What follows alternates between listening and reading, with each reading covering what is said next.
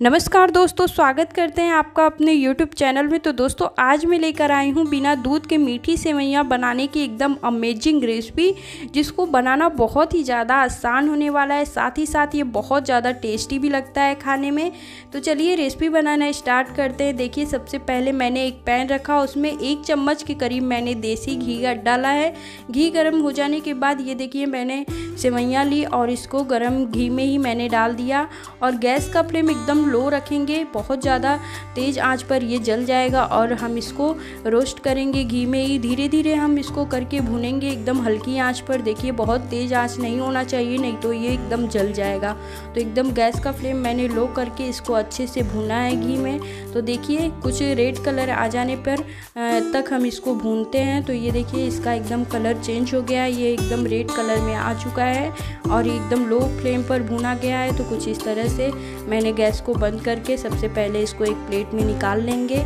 फिर ये देखिए, वापस से मैंने उसी पैन को साफ़ करके उसमें मैंने एक ग्लास के करीब पानी डाला है। पानी गर्म हो जाने के बाद मैं इसमें जो सेवैयाँ भून कर रखी थी, उसको मिला दूँगी। बिना दूध के हम सेवैयाँ बनाने वाले हैं और बहुत ही ज़्यादा स्वादिष्ट बनने वाली है। यकीन मानिए गाइस अगर आप इस तरह से आपके घर में दूध ना हो और आप सेवई खाने के बहुत ज़्यादा शौकीन है तो झटपट इस तरह से आप बनाकर खा सकते हैं। मेरी रेसिपी को एंड तक देखिए, आपको ये रेसिपी बहुत ज़्यादा पसंद आने वाली है।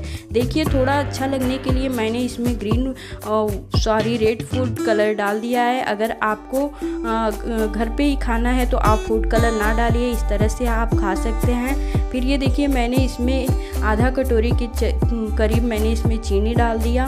और ये देखिए, चीनी मेल्ट होते ही, ये देखने में ही कितना सुंदर लग रहा है। देखिए गाइस बहुत ही ज़्यादा इस तरह से टेस्टी हम बिना दूध की सेवैयाँ बना सकते हैं। तो इसमें कुछ भी नहीं करना है और बहुत ही आसानी से देखिए, मैंने चीनी डाल दिया और पानी को एकदम अच्छे से इसमें पका लेंगे सेवैयों को पानी में उसके बाद चीनी डालकर, ये देखिए मैंने थोड़ी सी इसमें किशमिश डाल दी है। अगर आपको और भी कुछ ड्राई फ्रूट पसंद हो तो आप इसमें अपने पसंद के अनुसार मिला सकते हैं। बस इसको मिलाकर बहुत ही इस तरह से देखिए हमारी सेवैयाँ एकदम झटपट, आसानी से बनकर तैयार है। गाइस तो कैसी लगी मेरी आज की ये रेसिपी, मुझे कमेंट में ज़रूर बताइए। और एक बार इस